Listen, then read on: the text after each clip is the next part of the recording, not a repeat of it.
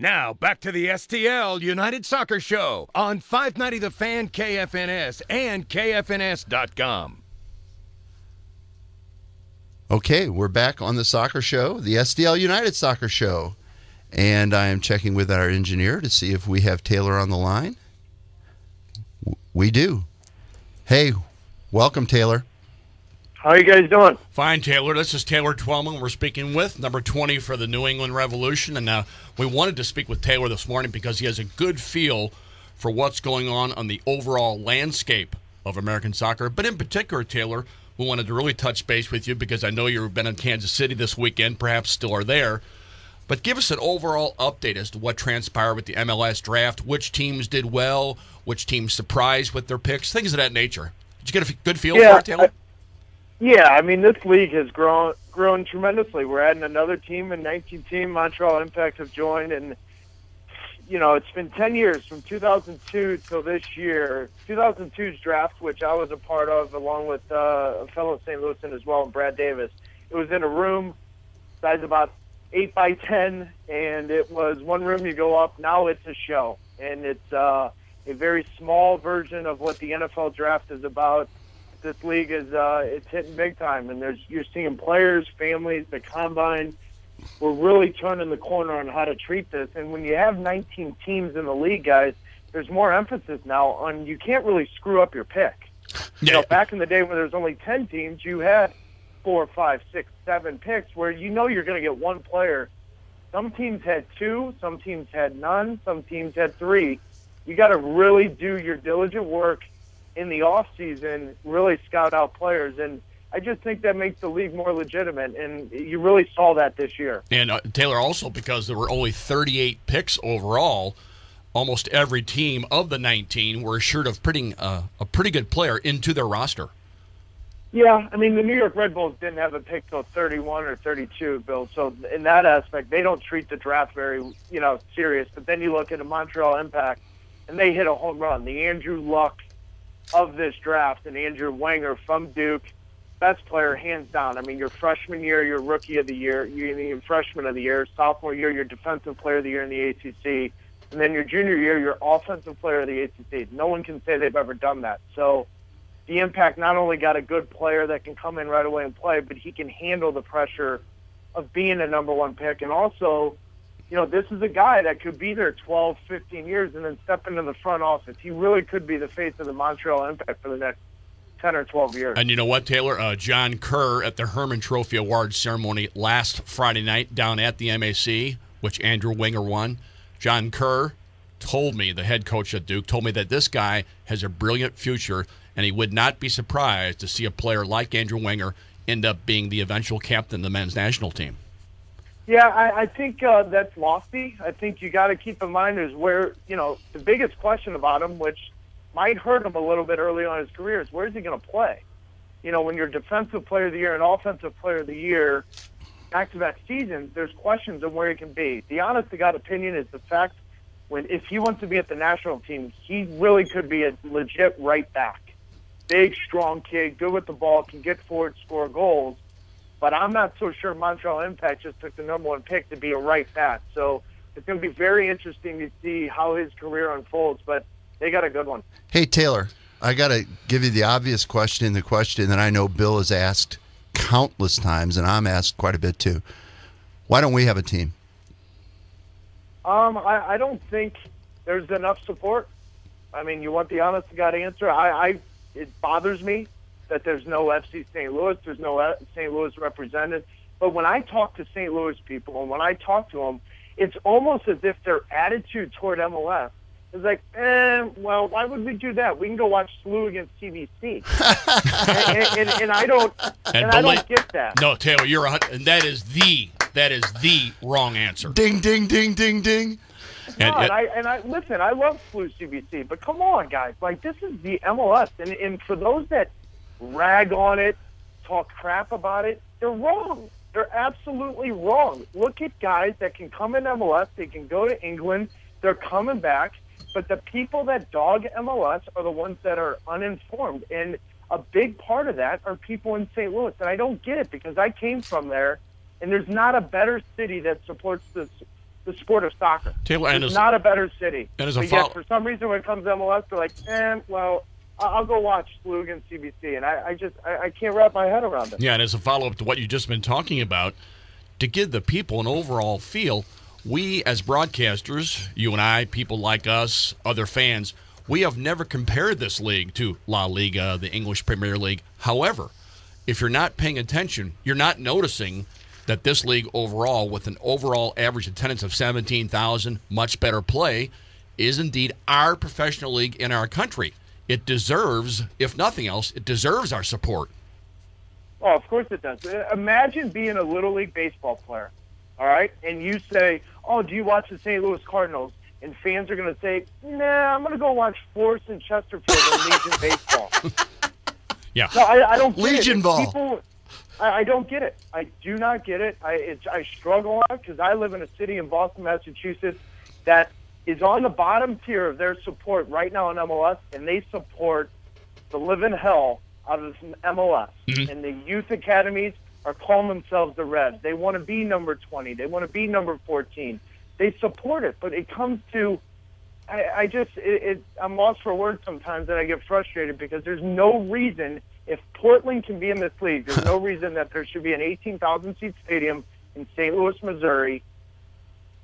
In this league, there's no doubt in my mind that it could work, but I don't think right now the fans in that city would support it. Hey, Taylor, we got about a minute left. Uh, obviously, you have some thoughts on that topic. We're going to get you back if you will join us again to talk about. But I real quickly want you to take the final minute and talk about Think Taylor. Yeah, I've started a non-for-profit foundation, and uh, for those of you that don't know, my life changed August 30th, 2008. I got a concussion, and I have permanent brain damage. So, to save you the time, I've started a uh, foundation, ThinkTaylor.org. Anyone that has a concussion, we need your support, but we want to support you. And, and our saying, real simple, it's been mine. If you've got a broken foot, you do not see an eye doctor. And way too many kids parents are not informed on the head injury and they're seeing the wrong doctor. So thinktaylor.org will we'll come to you, We'll help you out and make sure you guys start healing the right way. All right, Taylor, I want to thank you very much for your time. Are you still in Kansas City? Yes, I am the uh, keynote speaker for the All American banquet, so I'm looking forward to that as well. All so, right, so which is which is bigger, being on our show or doing that, Taylor? Tell us the truth. Uh, being on this show, There you I go. Got to give my, uh, I got to hear Bill's voice and There- give my opinion on why St. Louis don't have a team. This was fun. Doesn't get any better than that, does it? Good answer, Taylor. Thanks, Taylor, Taylor. for your time. We'll catch up with you in the future. Thank you so much, folks. You're yeah, on. take care, guys. Bye bye. You're on the STL United Soccer Show on KFNS 590 The Fan, KFNS.com. Now back to the STL United Soccer Show on 590 The Fan KFNS and KFNS.com. Okay, we're back on the soccer show, the STL United Soccer Show. And I am checking with our engineer to see if we have Taylor on the line. We do. Hey, welcome, Taylor. How are you guys doing? Fine, Taylor. This is Taylor Twellman. We're speaking with number 20 for the New England Revolution. And uh, we wanted to speak with Taylor this morning because he has a good feel for what's going on on the overall landscape of American soccer. But in particular, Taylor, we wanted to really touch base with you because I know you've been in Kansas City this weekend, perhaps still are there. But give us an overall update as to what transpired with the MLS draft, which teams did well, which teams surprised with their picks, things of that nature. Did you get a good feel Yeah, for it, Taylor? Yeah, I mean this league has grown grown tremendously. We're adding another team, and 19 team Montreal Impact have joined, and you know it's been 10 years from 2002 till this year. 2002's draft, which I was a part of, along with uh, a fellow St. Louisan as well, and Brad Davis. It was in a room size about eight by ten, and it was one room you go up. Now it's a show, and it's uh, a very small version of what the NFL draft is about this league is uh, it's hitting big time, and there's you're seeing players, families, the combine. We're really turning the corner on how to treat this. And when you have 19 teams in the league, guys, there's more emphasis now on you can't really screw up your pick. You know, back in the day when there was only 10 teams, you had four, five, six, seven picks where you know you're going to get one player. Some teams had two, some teams had none, some teams had three. You got to really do your diligent work in the off season, really scout out players, and I just think that makes the league more legitimate, and you really saw that this year. And uh, Taylor also because there were only 38 picks overall. Almost every team of the 19 were assured of putting uh, a pretty good player into their roster. Yeah, I mean the New York Red Bulls didn't have a pick till 31 or 32, Bill. So in that aspect, they don't treat the draft very, you know, serious. But then you look at the Montreal Impact, and they hit a home run. The Andrew Luck of this draft, and Andrew Wenger from Duke, best player hands down. I mean, your freshman year, your rookie of the year, you your freshman of the year, sophomore year, your defensive player of the year in the ACC, and then your junior year, your offensive player of the ACC. No one can say they've ever done that. So the Impact not only got a good player that can come in right away and play, but he can handle the pressure of being a number one pick. And also, you know, this is a guy that could be there 12, 15 years and then step into the front office. He really could be the face of the Montreal Impact for the next 10 or 12 years. And you know what, Taylor? Uh, John Kerr at the Hermann Trophy Awards ceremony last Friday night down at the MAC, which Andrew Wenger won. John Kerr told me, the head coach at Duke, told me that this guy has a brilliant future and he would not be surprised to see a player like Andrew Wenger end up being the eventual captain of the men's national team. Yeah, I, I think uh, that's lofty. I think you got to keep in mind is where you know the biggest question about him, which might hurt him a little bit early on in his career, is where is he going to play? You know, when you're defensive player of the year and offensive player of the year, back-to-back seasons, there's questions of where he can be. The honest to God opinion is the fact when if he wants to be at the national team, he really could be a legit right back big, strong kid, good with the ball, can get forward, score goals. But I'm not so sure Montreal Impact just took the number one pick to be a right back. So it's going to be very interesting to see how his career unfolds. But they got a good one. Hey, Taylor, I got to give you the obvious question, the question that I know Bill has asked countless times, and I'm asked quite a bit too. Why don't we have a team? Um, I, I don't think there's enough support. I mean, you want the honest to God answer? I, I it bothers me that there's no FC St. Louis, there's no St. Louis represented. But when I talk to St. Louis people and when I talk to them, it's almost as if their attitude toward MLS is like, eh, well, why would we do that? We can go watch SLU against CBC, and, and, and, I don't, and, and I don't get that. No, Taylor, you're a, and that is the that is the wrong answer. Ding, ding, ding, ding, ding. And, and, I and I listen. I love SLU CBC, but come on, guys! Like this is the MLS, and and for those that rag on it, talk crap about it, they're wrong. They're absolutely wrong. Look at guys that can come in MLS. They can go to England. They're coming back.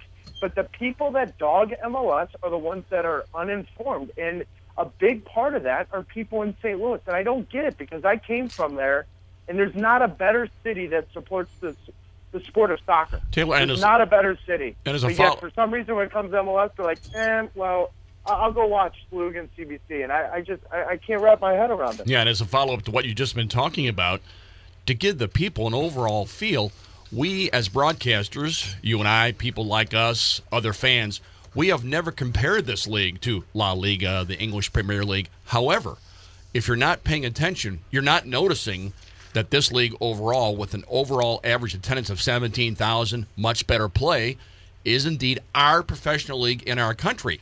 It deserves, if nothing else, it deserves our support.